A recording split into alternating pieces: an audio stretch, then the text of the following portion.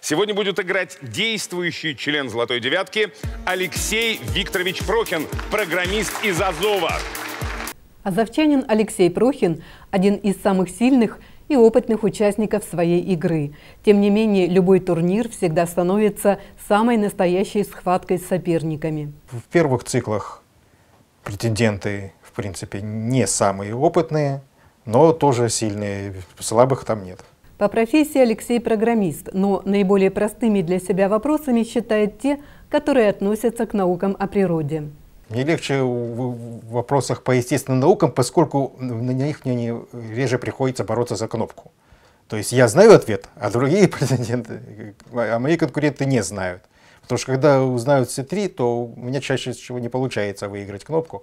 В своей игре важно не только нажать кнопку первым, но и не сделать это раньше времени, иначе последует блокировка кнопки. Еще в седьмом классе Алексей владел техникой скорочтения. По словам его мамы, этот навык иногда вредит в игре. Он вопрос читает, его ж показывают, а ведущий в это время еще говорит. И если он вопрос дочитал, вот это вначале он попался несколько раз, он вопрос прочел, нажал кнопку, все, у него заблокировано. Как говорит сам Алексей, обычно он знает правильные ответы на 90-95% вопросов, но при этом есть область, в которой он не сведущ. Наверное, по, по, по самой современной поп-музыке. Это, за этим я совершенно не слежу. Они, в принципе, редакторы тоже не особенно ее любят, но пытаются все-таки вставлять. Чтобы... Азовчанин давно стал довольно известной личностью среди участников и поклонников своей игры. Его эрудиция иногда даже пугает новичков. Если какой-то игрок будет выбирать, то он предпочтет выбрать не меня, а кого-нибудь другого. Нет.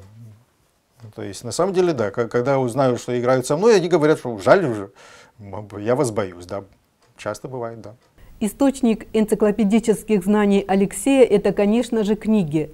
По словам Лидии Семеновны, алфавит он выучил раньше, чем начал говорить. Листал книжку, я ему э, по книжке читала, э, очень, очень интересные книги, стихи с картиночками и так далее. И он стал показывать букву. Сначала выучили самую простую – это О, и он потом полчаса листал эти буквы О, показывал. Потом все гласные, э, и, и год и девять месяцев он выучил весь алфавит. Лидия Прухина, как успешный педагог, советует молодым родителям по возможности раньше начинать учить ребенка читать, решать занимательные задачи, разгадывать ребусы, а также развивать мелкую моторику рук. Но обязательно все это делать с интересом и хорошим настроением. Он кубик Рубика, когда появился, он ходил лично в библиотеку, там была статья в «Науке и жизни». И он оттуда себе законспектировал, еще не было ксерокопии, и он этот кубик Рубика собирал. Когда появляется свободное время, Алексей по-прежнему старается много читать.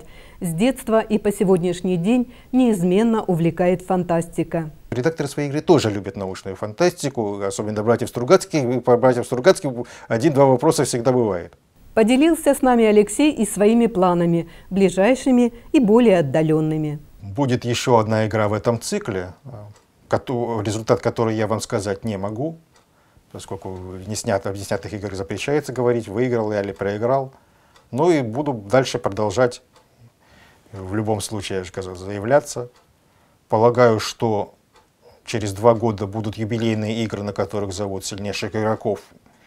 И полагаю, что в их числе я обязательно буду. А дальше посмотрим. Татьяна Иващенко, Юрий Бабенко, Азов Инфо.